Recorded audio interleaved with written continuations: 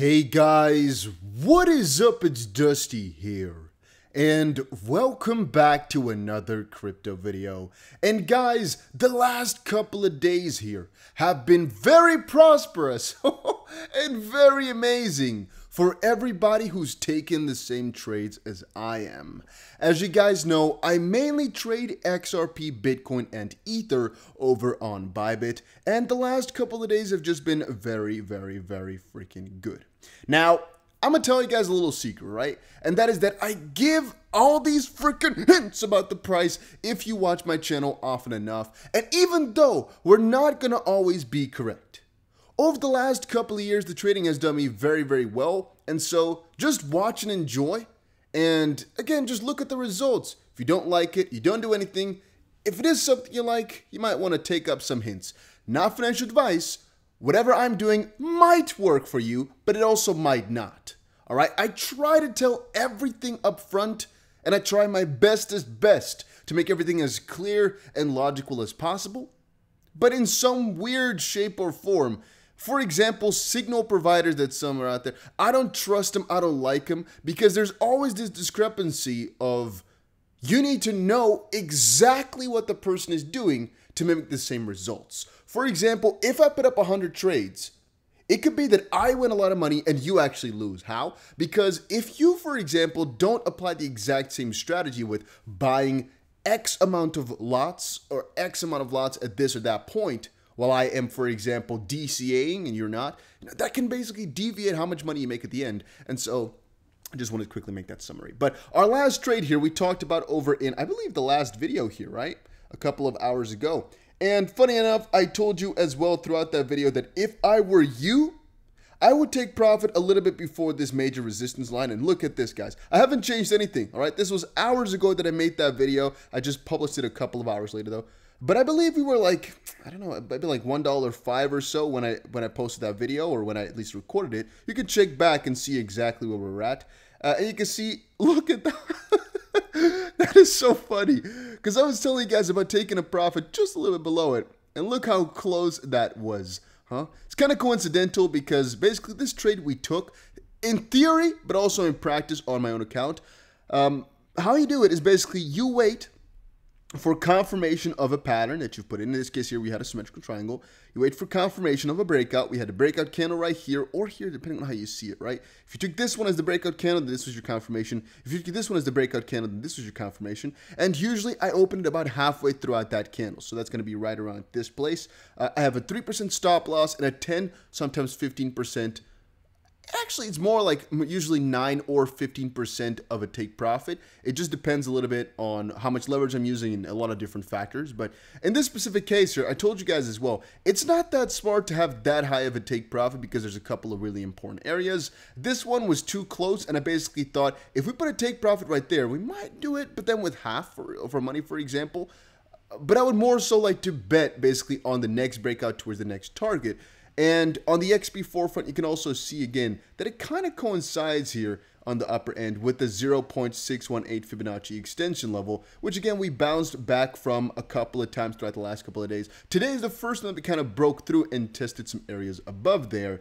Uh, but I'm just hoping that piece by piece, we're going to, you know, kind of bounce from the um, trend line potentially bounce back to the 0.5 at about 96 cents or so, but generally speaking, just build the next wave upwards, where this entire August September price action was basically just a first or initial high and a dip before making a newer high. And I, I think that's basically the pattern which is going to flow, which is going to be like this, right? That we had one little move like that, and then just continue on higher. That's again my personal expectation, and that's again also where my money is going to be. As you guys know, the last couple of days on Twitter, I think from every day I've been shouting that basically, that I am proud to own XRP and that I'm proud to just buy more every single day or every single week, whatever.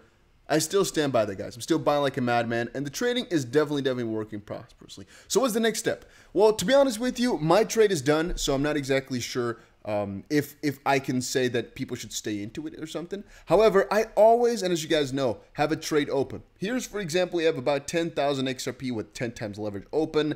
Uh, we opened that at about 87 cents or so. I believe it's actually twice that we traded it and opened it. Uh, wasn't it? Yeah, I think it was this this trade that we did right there And I told you guys on my personal account, I closed it at about 15% profit. Uh, and again, I told you guys this before I think it actually happened. I just explained to you guys how much profit and everything like that. Um, but on this account, I didn't because I forgot to close it. And then I was like, you know what? I'll just stick with it. And as it currently stands, yeah, we did pretty well. So even though I think we would have made more money if we just took these two trades separately on this account, if you, I guess, just hold on for dear life, sometimes it gets you these better results as well. And so short term, I guess I'm just going to stick with this long-term trade that is basically a hedge for if we get a settlement. If we then shoot to, for example, five bucks, again, with my 10 times leverage, 500%, 400% returns or so, again, times 10, 4,000% returns on my 10,000 XRP or $9,000. Yeah, that's pretty nice, right? I'm not going to complain about that. So I'm definitely, I guess, fine with that. I'm not going to um, go ahead and cry. That's a little bit of a sideline. Uh, then again, yeah, right now, short term, we are making higher lows and, or sorry, higher highs and higher lows. We don't know how long that's going to sustain itself for. All coins look to have broken out and still look very, very juicy, broken under the bullish flag. So from that perspective, I would say, yeah, we're continuing on with the bullish pattern like I've been predicting and screaming for weeks. However, I can't shout these things too early because very often we get faked out, specifically in the crypto market. Then again, look how bad in a good way, how badass Bitcoin's reversal was here, getting back to the 48,000, 48.5 thousand resistance that we are basically battling with right now. You can see short term, right? This is basically the resistance area which we are battling at. And I just personally expect us to get over there, but we shall see if we break out. You know, we shall see very, very shortly here, guys. All right. In terms of whales, we didn't really get that much interesting stuff going on. We have one big whale of about 150 million XRP that I've been watching, but it's just a Nexo transfer. And since it's internal, I'm not really going to shout out anything about this. It's not really that significant, but it happened a couple of hours ago, and 150 million XRP is always something that I look at like, hmm, what's going on there? But in this case here, guys, nothing really to see. Now, on the other end, a couple of people have been asking me what it what it was basically with the um, with the Ripple money that they got because they kept so much XRP this time, and I didn't explain it properly, maybe. So Ripple decided to add liquidity to ODL corridors through XRP escrow release. They basically got a billion XRP, put 600 million back, and had 400 million left. Some are saying they're going to be using it this time to add liquidity for some of the ODL providers, and they're basically funding them in some way, shape, or form. Guys, it's so hard to figure this out. It is so, so, so, so, so hard. If they're sending 10 million to Bitstamp, it could be that they're selling. It could be because they want to help the platform out as a grant. It could be that this is their agreement. It could be just providing liquidity. It could be so many different small parts that I'm like, yeah, let's just let's just think about it as if Ripple's doing something good for the XRP ecosystem and kind of forget about it. Unless you really want to, want to bet an eye and just kind of keep staring and tracking down. If you want to, be my guest and tell me the results. But I really honestly don't know. And I think it's almost impossible to figure out exactly what these payments are for unless you contact Ripple directly. Now, investors now moving to Solana and Cardano as Ethereum loses steam. I saw this article and I find it so funny to see this. When people shout this out, I always giggle a little bit inside my head because if you really think it's truthful that people are selling their Ethereum like in masses to go hoard Cardano and ADA, oh, sorry, guys, Cardano and Solana, I, I would say you're wrong. Uh, even though there are some people switching, yes, they all have their their their separate basically community or or their own separate little yeah area of interest. So Cardano and Solana are of course quote unquote better than Ethereum is, but with Ethereum and Bitcoin, very often the appeal is that it's the old school, properly decentralized nets. You know, and so people who have this this this interest in Ethereum, a lot of them won't really switch over just because another network is cheaper, because there have been these cheaper alternatives from so many years. they they've been there, and theoretically speaking, you can always use a layer two, for example, like Matic, it's not Polygon, to take your Ethereum off the main chain and transact really cheaply before bringing it back in, meaning you know you can still use Ethereum in a really cheap sense.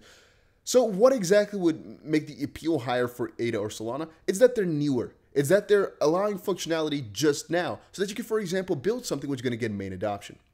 If you're launching a decentralized exchange on Ethereum, it's not going to get that much traction. If you're launching one on Solana or ADA, there's a good chance that you're going to get out on top if you have a little bit of marketing, a little bit of money. So from that perspective, the appeal is just a lot higher if you're you know a developer in that sense.